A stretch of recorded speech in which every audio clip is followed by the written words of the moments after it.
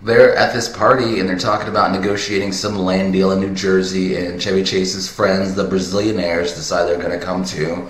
And he's like, whatever, they're not going to show up. The next morning, though, they all meet up, and he's just like, I don't really want to take this chick anywhere, so just drive her to New Jersey. And then she shows up in the elevator looking kind of good, I guess. Everybody's they're just like, hmm maybe I will take her to New Jersey. Give me that, give me them keys, and like they go. The Brazilianaires are there too, and they're like, let's all go to New Jersey. For some reason, we're in New York, but we want to go to New Jersey because we're bored and we won't have anything else to do. Like we could go to the Bahamas, but instead we'll just cruise to Bumblefuck, which is where they're going. They're like, oh my god, this is so cool. Car chase shit, long ass car chase and like they're like, what the hell? And then there's like the sun, so he's got to take this right, and they're going through the oil fields and almost getting hit by cars and stuff, and it's pretty cool. You know, it's a pretty gnarly scene. This movie escalates a lot. I'm got it in New York, and out of nowhere they get pulled over because these guys got nitro in his car like Fast and Furious, Tokyo Drift. And they get pulled over, and everyone's just like, "This is your fault, Chevy Chase." Even though we were just hyping your ass up, super crazy. Now we hate you, and this is your fault. And Chevy Chase is like, "Fine." And guess who the cop is? John freaking Candy. And he's just like, What up, y'all? I'm John Candy. You guys are under arrest. Let's go. And they're like, God damn it. So they take their asses to the courthouse and they're driving on through, driving, driving, driving. Takes them to the judge's little section of land, a little slice of heaven, and there's a lot of cars and a lot of piles of toasters and old microwaves. I love it. Like I think this movie has the best set design, costume design, all that shit. Even though I wish John Candy would have uh, got the okay to make the original script that he wrote because it sounded a lot more hardcore. This movie is supposed to be scary, but it really isn't. I never thought it was scary. I thought it was a crazy comedy. Like I, people said, it's it's a horror film. Like there's horrible aspects to it, but like I even as a kid, I was never like this is scary. But I can see how this was originally really scary. I had to cut all this stuff because like some of this stuff is pretty disturbing when you think about it, especially because like like I love Dan Aykroyd, but you can tell he's got some pretty crazy shit in his mind. You know, nothing wrong with that though. They're in front of the judge, and it's like the tension just builds and builds because like you know they're in trouble. They've been brought in front of this crazy ass guy in front of this crazy ass house. They're talking smack, like, oh yeah, that's fine. And then Dan Aykroyd pops up as the judge, and he's wearing the craziest makeup you've ever seen. People are like, whoa. And then it just like it starts cracking jokes and having a good ass time. You're like, whoa, what the hell? Like, what is this fucking movie? like already, it's like I can only imagine seeing this movie in the theaters, sight unseen, not knowing what the fuck's happening, and just getting your mind blown over and over. It's kind of like a post horror horror movie where you're like, I'm a monster, oh, I look really scary. And he does. Like he looks really scary. Dan Aykroyd's face in this movie looks like an old wrinkly nutsack. Like I'm sure they planned it. Like I'm sure he probably took a picture of his balls and was like, make this ball sack into a face that I can wear. And they were like, we'll be right on that. And that's what they got because he really looks like a wrinkly old nutsack. And it only gets worse from there. He's got this crazy ass house that like looks amazing to live in with like all this secret stuff, some sort of crazy trick house. I don't know if that's a real thing or if there's houses like that or if he was just ripping off the Winchester Mystery House or whatever. But like, I would love to live in a house that's got like trap doors and moving floors and shit and like all that. So the guy, he's just they just like, you know what, you guys are in trouble now. And he pushes the button, trapdoor falls, and they land in a pile of squeaky toys. And I'm like, dude, I want to install that in the bar at Aaron Rose so bad. And like have people who aren't cool sitting there, just push the button, have the trapdoor fall the fuck out, and they just land on a pile of soft toys. Like, oh shit, where am I? And they just leave. That'd be cool. This house is awesome.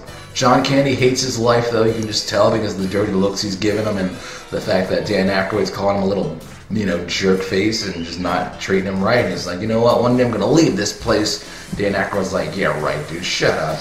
Everyone's pissed at Chevy Chase for driving like an asshole and getting him in trouble and smoking cigars in front of the judge and talking smack and getting him trap doors. So they're all like mad at him and like they're like, you're fired. And he's like, you can't fire me because I quit. Shut up. So that happens another group of people come through from they look like they're from Jersey City or just New Jersey in general coming going into New York like the bridge or tunnel crown.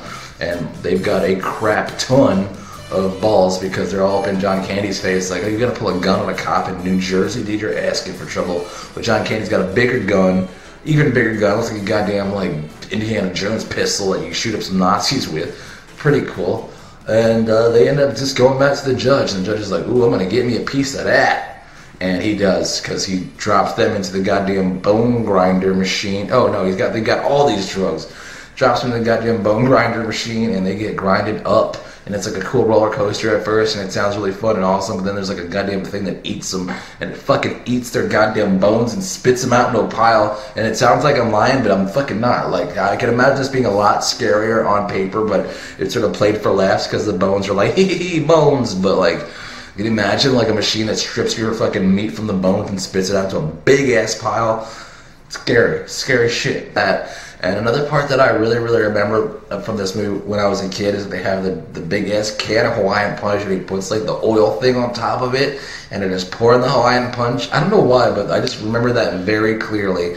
Just them drinking some gross ass juice out of that weird ass oil can and that being awesome.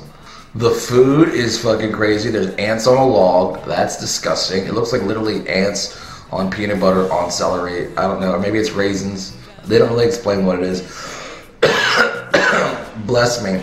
And then there's another part is probably the craziest part of the whole movie is the damn hot dog scenes where like, let's have some of them dogs. And they're like, we're eating dogs? And he's like, no, hot dogs, wink. And he's got this goddamn machine, it's like spitting out steam and it's like, and they open it and it's just the nastiest looking hot dogs I've ever seen. Like they have little strings hanging off of them and they're like white and they just look really uncooked. They look like gray, and he just fucking, it's just fucking disgusting. And then the gnarliest part is that the tray, that there's a train that's got all the ketchup and mustard on it that just goes around the table, and he's just happy as shit. Just like I'm like, this is really fucked up. Like this is terrible. And like the one couple is just like, this is so wrong. He takes a bite of the hot dogs, and I'm like, this is the, nastiest thing I've ever seen in my life. Like that's even as a kid, you're like, this, I do not want this hot dogs. I wonder, oh god, I don't even want to think about this hot dogs anymore.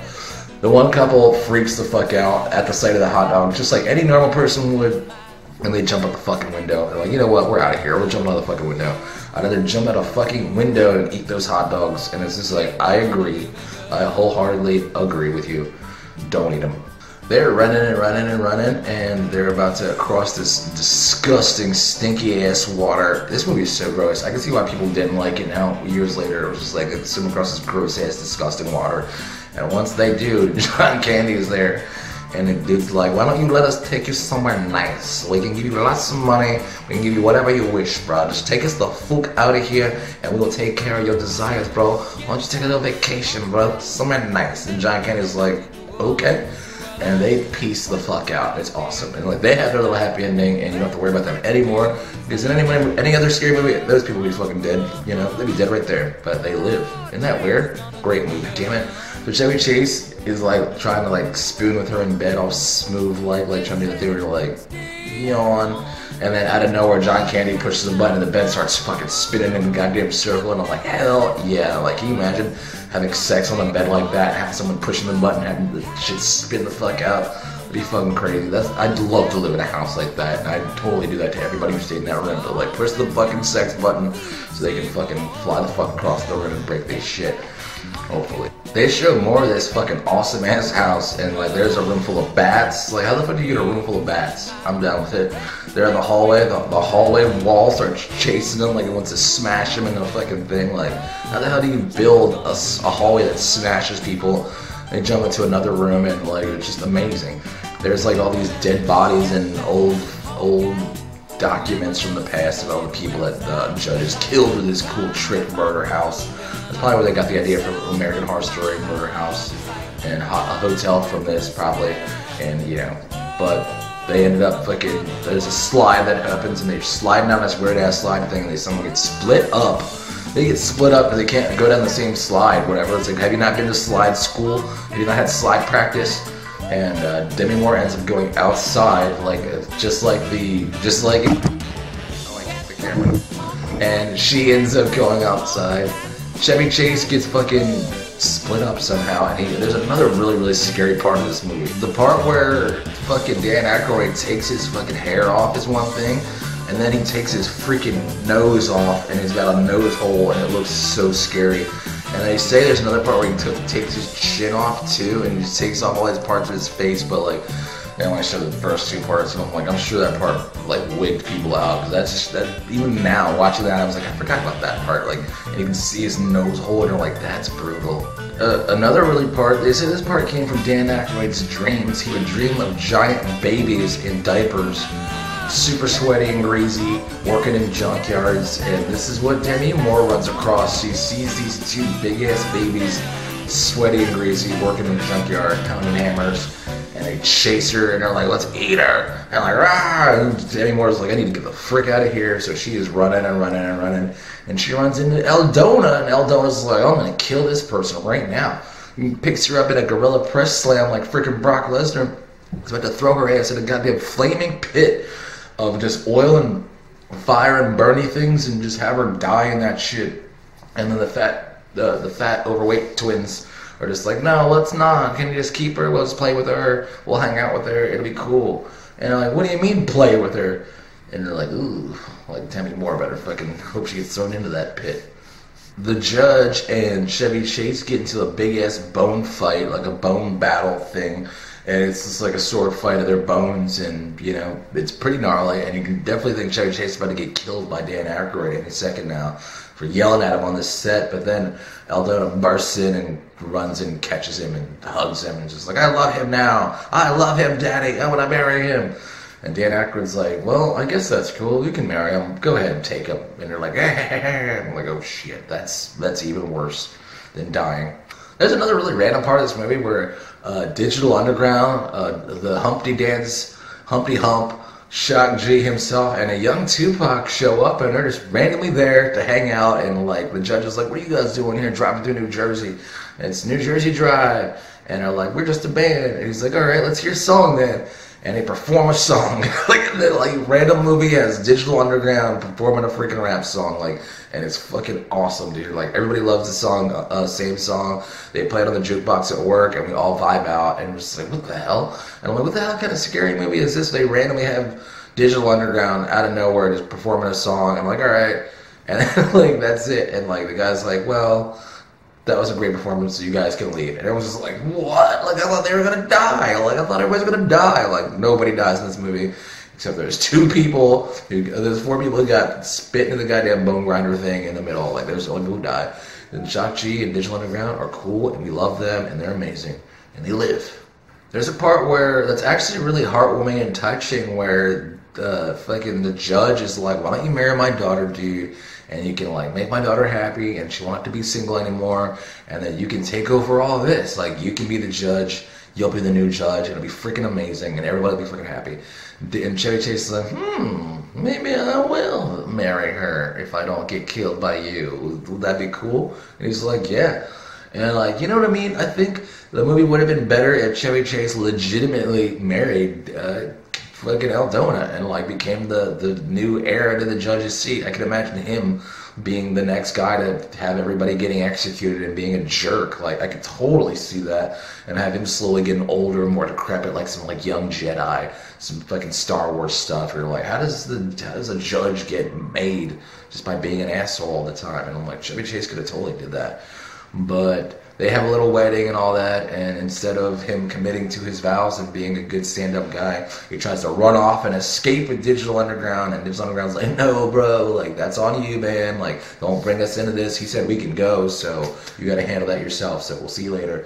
And Digital Underground pieces of the freak out, and Chevy Chase gets thrown in the goddamn bone grinder for his insolence, for being a little jerk face, and Dan Aykroyd is happy as frick and sort of just like fucking drop his ass in a goddamn machine. It's a roller coaster, roller coasting his ass through the fucking house and about to kill him and about to eat his ass alive and all that. But then like it's a really really old machine apparently, and the the rotator cuff breaks off of it, and the machine falls apart before it can properly eat Chevy Chase, and he is lucky as freak because any any other person would have been bone, dust, and juice by now and he's really, really lucky, even though he does not deserve it. John Candy is like, I'm done with this job. I'm sick of the murders, and I'm out of here. He packs his favorite lamp and his favorite selfie, and he leaves, and he's done, and he's fine, and he's out. And I'm like, good for you, bro. They're about to chop up John Candy's girlfriend or Chevy Chase's girlfriend, Demi Moore, with the big machine thing because they don't like that Chevy Chase escaped all that. So they're like, you know what? We're gonna drop some shit in your freaking heads and cut you all apart in pieces, and we're gonna chain you up here, and it's gonna be freaking awesome because we're evil people. And I'm like, dude, that's the best method he has to dispose of her. Like, you know, he's got all these roller coasters and death traps, and he's just gonna drop blades on her. Like, that's kind of lame. Maybe he just wanted to lure Chevy Chase to that spot, but like somewhere he could see him and all that. But like, what else? I'm sure he had other stuff in his like little kitchen that he could have cooked up. But whatever. I mean, they, they, they probably, the, the, fucking studio probably cut all the good stuff anyway, so I'm sure this was a lot more intense of an ending. But, you know, Chevy Chase comes out of nowhere to save Demi Moore because he loves her.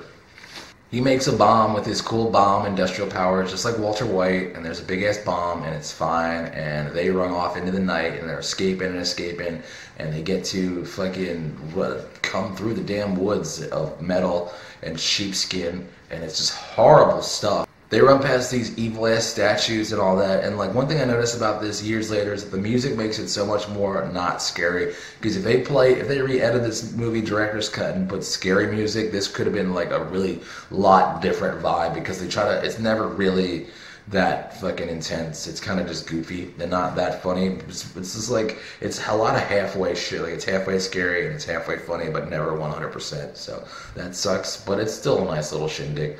It's not over though. Like they go and you think they're just gonna cruise into the sunset, and they go straight to the freaking cops and they tell the cops this crazy ass long story, and it's just like, and this happened, and this happened, and this happened, and we're gonna draw you diagrams, and we're gonna show you everything that's fucking happened. And the guys are like, all right, take us to this guy's house, and we'll stop him ourselves, and like, come with us. And they're like, you want us to come with you? And they're like, yeah, come with us. And they're like, why? Like, just just come with us. And they're like, fine, we'll come. So they Chevy Chase and Demi Moore bring all these freaking cops out to that exact same spot. Like they go right back to it. And like the dude answers the freaking door, and he's like, "Oh, you got a bunch of cops behind you." And the cops are like, "Hey, Judge Alvin, we love you. We're all best friends." And it's like, "What the hell?" So it's just like everybody loves the judge, and it's like a deep-seated conspiracy because it's some Northwest shit where it's like everything's connected, and he's part of the Illuminati and all that crap. And they're just like, oh, it's like so. Demi, Demi Moore and Church is pretty much like done, you know, dead and buried, right? Because it's like, you know, no way to get out of that. But then there's a nice little Deus Ex Machina because the place just randomly explodes. Like there's fire under the ground, and it just fucking everything collapses and goes to shit, and people are dying, and people are crying and laughing, and it's just a lot of stuff to take in at once. So it's this movie's just one night in hell, I guess, and just everything that happens is completely random, nonsensical. And as a kid, you love this sort of shit, but when you're an adult, you're like, this is kind of this is kind of weird movie. But I like it, you know, and fucking that's not even the end of the movie. Like there's another ending. It's like there's three endings. I didn't know where to freaking end it. Where it's just like, oh, the place collapsed, and you'd think everybody would be dead, but no, there's oil under this fucking shit. So now this guy, the judge, is rich as fuck. And it's just like, oh man, really? It's just like, yep, now he's rich as fuck. And he's coming for Chevy Chase. And Chevy Chase is like, no. And he bursts through the freaking wall. And that's the actual ending. So, like, like really? So it's just like, yeah, that is probably kind of a crazy movie. I wouldn't say it's the worst movie. I didn't have, I wasn't painful watching it like Dragon Ball Evolution was or Avatar was. I just wish they could have let Dan Aykroyd do his thing and deliver his full vision and have more fun with it because it's a lot of just creepy stuff that's played for laughs. And I wish it was more like, oh, and it's kind of a weird short movie. It's like kind of the plot is. I mean, I guess it is kind of Texas Chainsaw Massacre, pretty much the same stuff. Uh, people go to the wrong place and they get chased by monsters, and almost everyone's killed, except not really. So, I mean, I liked it. If you like goofy ass, kind of scary movies that are well known for all the wrong reasons and that have flopped tremendously at the box office and cost studios a lot of money, then you should check out this movie because it's a freaking classic. Uh, I'm Garrett Faber, and that's it.